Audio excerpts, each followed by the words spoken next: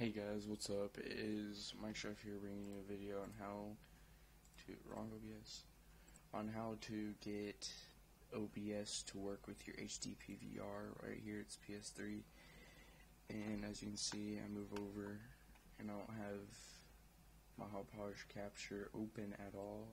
It's just going right through OBS. I'm going to show you how to do that and all you have to do is by well let me close this real quick. Now I'm going to keep it open for you guys. But when you do so you go to obsproject.com go to OBS as you can see it it's multi-platform how to get it work with a multi-platform. People do install plugins and such that allow you to work with it and they do have an early test beta. And click window oh my bad. Go to forum and you go to multi you go right here OBS multi-platform. Go to Windows support and then you'll see right here latest test build. Well did not expect that. Latest test build click on that. You are going to need the VS 2013 go download that. Click on the link. Start hit download and then follow instructions. But you are going to need that and then you download the test build right here. The link to this forum page will be down in the description. But then uh, you're just going to have and then once you get downloaded you are going to get this folder right here. This one not that one. And you hit and then I have 7-zip. I don't use um, what's it called? I don't use WinRAR, so you, it's not going to extract it to the whole desktop. So you're going to click on that. But you're going to make a new folder. I label mine at OBS. It's going to go here, right click, extract all. Then it's going to make another folder right here. It's going to pull this up. The thing that you want is in bin. 64-bit, I haven't tried it yet. My PC is 64-bit, but I've heard it crashes a lot for 64-bit, so you just want to go 32-bit and click on that. Hold on. Close that real quick. Open it up. Minimize or close. Whatever you want to do mm-hmm. with that. Just like mm-hmm. that. So then, let's remove that. Yes, you remove it and as you right here, the settings, the mic and such. Don't worry about that, I'll show you how to get that to work. But then you go add video capture device. I label mine PS3. Okay, that's the system I play on. And that, that's my face right there. Hi world. Alright, now it's frozen. But yeah, and then here's, don't mess with any of this, hit OK.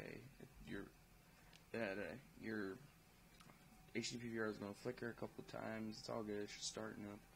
And then you get right here into this screen with your game. Well, first it's going to look like something like that probably. Just go down here. How do I do this again? You Go to transfer and then you go stretch the screen. Stretches it to the full screen without you having problems. Because if you, see, hold on, my bad. Say if it's like that, and you try to, it's not going to stretch out the way you want it most of the time. I don't get why it's working now for me.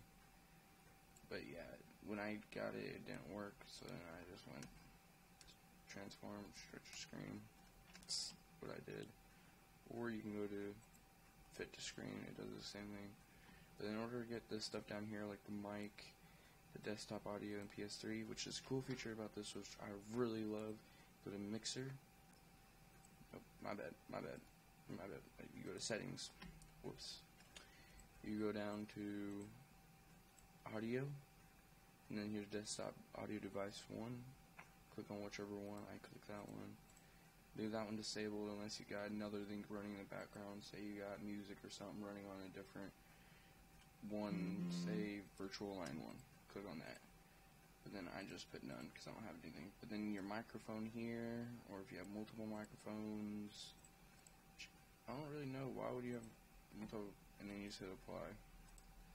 But then if you're streaming, pick whichever stream one, whichever whatever you're streaming on, right here, and then you go find your stream key, which is right here on Hitbox, which is I stream on. You go down to the live stream settings, this page pulls up, and then stream key right here. You hit show, generate new, whichever one you want to do, and then for Twitch, it's the same setup you go to dashboard, then you go over to stream key or account one the two, and you'll get it there.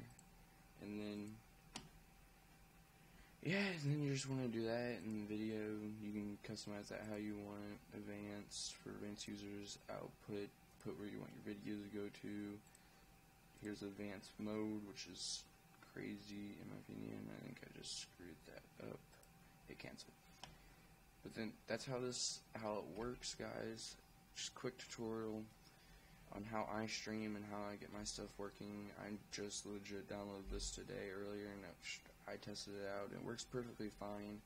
It's better than XSplit in my opinion because your PC isn't going overboard on it. I said, just move that over and it shows up here. But yeah, guys, I hope you guys enjoyed the video and I will